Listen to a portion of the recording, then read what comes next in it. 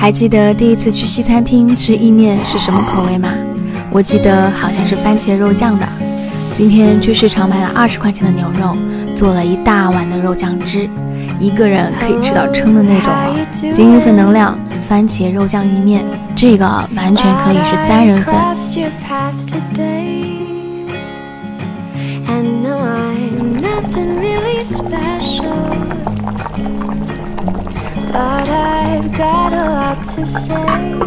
牛肉经过半小时的焖煮，已经完全入味了，带上番茄酸酸的口感，很满足。